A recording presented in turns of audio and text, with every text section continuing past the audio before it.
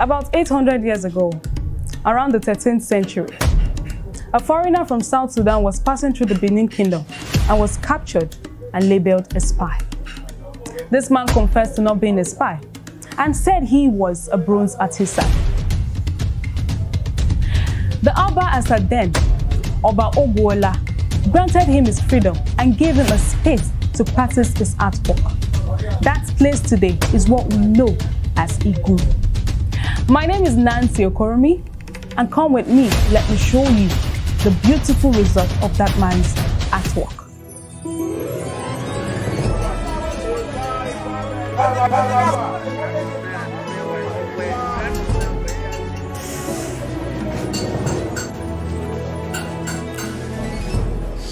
A long time ago, before colonialism, there was a great kingdom of Benin, a kingdom of indefatigable people, led by an unbroken line of kings known as the Obas. The Benin kingdom was known for its rich artistic traditions, especially in bronze casting. Its bronze casting was so good that it rivaled all other bronze castings all over the world. In 1897, the invasion caused a total destruction of culture, art, and sovereignty, which led to the looting of over 5,000 artifacts from the Benin Kingdom.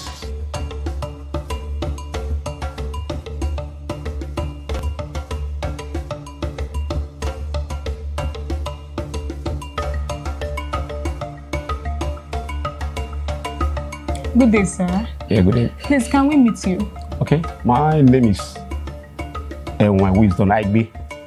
I'm a bronze caster. Okay. So I've been into bronze casting for almost 35 years now. I learned the art of bronze casting from my father even when I was in primary school. Wow. So it started very long time ago too, but I may not be able to tell you precisely the the time. Almost about around that 12 something. You know? It was an Oba who introduced the art of broadcasting to Benin.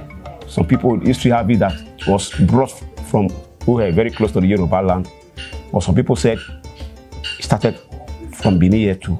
But I know the, Oba brought it to Benin and introduced the Indian of Igun, who was very close to him by that time. As among those people also following him down. Eh, so you know the history of how the Benin and the Yorubas are related, you know. So he brought it to Benin. So the first thing they were doing then, to they go to the palace to do the casting. Casting was mainly done in the palace. Whenever I have a festival, I have anything they want people to also showcase. Just like when you have a photograph, you have your marriages, you have your burial, you normally take photograph. That was the essence of this bronze workers at that time. You know, the other would tell them, this ceremony, come and design so, this, come and do this, come and do this. The people will also do it and they do the casting in the palace. The Oba always have what normally give to them as compensation. You give them food stuff, you give them beats, you give them those things. That was what he was paying. Eh. So he also later on he now asked the, the, the head of the geese, who is the Indian of Igun, to come and settle down at Igun area too. He was in Igun too. He have other people too who also introduced to also join him too. Eh. Like we now we are from the Indian family too, which is the uh, uh, the head of the geese. And from that family too, we have for the Osa family, we have so many other family, Haniye family, so many other family that make up the bronze casting group in Igun. So they started it and they were doing the work for the Obas at that time. But later on, I was told that they, were, they later moved outside the the palace. They moved to place they call forestry now. Eh, so there's a particular area we have given to them to where they were also doing that casting. But later on, after some time, before enough freed the chief to go to their various home and started producing the bronze work and not date. We are still be doing the bronze work. The method we normally practice here is what we call the lost wax method. In other words, it's known as investment casting. The lost wax method, you know, we make use of bee wax, for example, and to produce anything that we want to do. Anything we do, we make use of bee wax to produce it. So we put the runners there, we reinforce it and all those things. Then we put it on the fire while the wax will flow out. So the space be, be occupied by that wax. And so it's- immediately the wax flow that a vacuum is being created. So that space. It's through that vacuum you are going to pour your molten metal to fill. And so allow it to get uh, solid after some time, then you break it. And so that is that is just the method. It's a very simple method. And we use wax to design. Uh, so the wax we used to design. So we remove that wax too through heating. Put on the fire to remove the wax. And that is why they normally call it the lost wax method.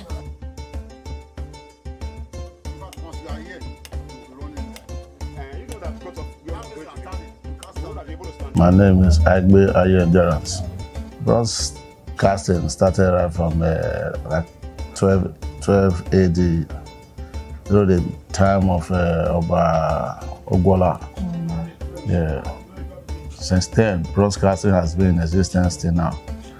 You know, they even have a guide. We have a guide you know, that protects, encourage the bronze work that's still going on to now. What challenges do you face as a bronze maker? Like, what are the challenges you all face? There are a lot of challenges that we face, honestly speaking. Let me be sincere with you. Because, you know, I told you my father taught me this art of bronze casting. You know, I learned it from my father. When I was doing it those days, I was very, the, the joy was always in me. I remember I was always making money from it too. It also encouraged me to. I just do something. Then we, uh, I attend secondary school there, I attend primary school there. Sometimes I produce it, I sell it, whether 15 cupboard, I can remember that time. I can buy coke, I can buy so many things that time when I was in school. People look at me as from a very rich home then. But now, people are not encouraged. The government is not encouraging anybody, nobody is encouraging people. The rate that people leaving this job, the boost hands are leaving this job today. I'm telling you the truth. Man, people are afraid that this job will not go into extinction, just like what happened at Ileife and so many other places too, that we're also uh, producing bronze, bronze work. The cost of materials too. Look at bronze work today. People hardly want to also patronize it locally, except those white men too. You know, it's so expensive. The wax we use to produce it, people are exporting it outside the country. So to for us to buy it now, it's very, very difficult for us to buy it because it's so expensive. The bronze, we used to buy it, we even we picked it from the ground those days too. But today now, it's almost about 3,500 for a kilo. So those things we used to sell like 20,000 naira. Today it's almost about 100,000. How many people can afford it? And if you go around Iguna, you discover that they are not most of those people selling, most of those people that have uh, shop that are selling, most of them they don't most they can't they can't deal on bronze work much as they used to do. They now introduce other uh, materials uh, that they used to produce. Those are fragile. They are not as good as bronze work anyway. That is what people can afford. You know, and that's again to religion belief. You know, here in Africa too, with so much belief that people doing all those things, they are not Christians. Uh, that's against the doctrine. You know, that's why you see some home too. Even when you have, I remember one time like that, somebody helped me for a job. I said, okay, let me let me let me encourage the person. Let me also uh, say thank you to the person. Like gifting I gave yes. No, the person was very happy when he received it. After two or three months, I went to that house again. I couldn't find that thing. But just to discuss with his wife, ah, that thing I thought you were using to design. What? He said, no, our church member came here. He said, no, we shouldn't try it. so we throw them away. You know? So those things are also affecting those things. The rate of patronage we normally have before is very, very low. And it's not encouraging people. That's why many people are leaving this job. People that are doing it now, we are very, very few compared to people that were doing it those days. And the good hands, the good hands, I'm telling you, they are all leaving. What do you have to say to the government, to fellow bronze casters out there, and to the to Nigeria and to everybody out there at large? Yeah, first and foremost, uh, to the bronze casters, I think we have been encouraging ourselves by our own kind of ways, you know. Uh, I still encourage, plead with them that to be strong in this, uh, is, I fight. You know, we, we love we love art and we our culture is synonymous to us very much that we, we want to promote our culture. So we won't say because the government is not really showing is not really showing much concern that we should let it go. We are still very strong.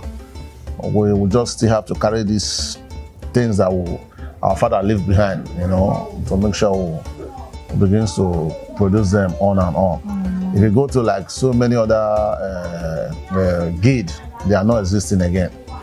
You know, it is only this bronze casting guild that is still existing Wow. because we have love, the passions for the artwork. And as for the area of the government, I will want the government to like encourage encouraging the art uh, dealers, that's the art bronze casters, in the sense that in the area of finance, in the area of subsidizing materials, Yeah. because now that the euro and the dollars are just flying up, Yeah. you see the materials are going higher. So for us to get those materials now, they are very, very, very expensive. yeah. So if we were producing like five just before now, you reduce to two or one because of the high uh, material increase.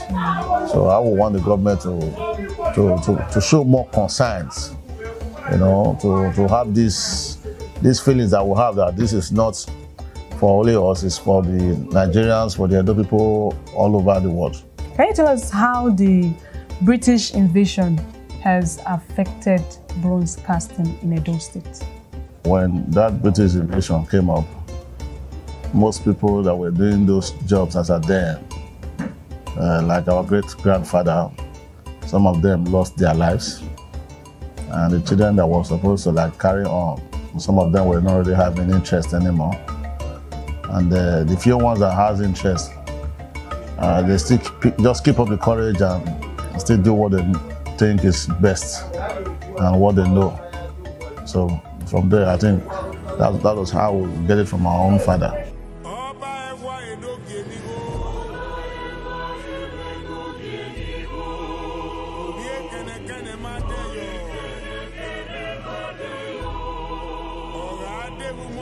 ẹwà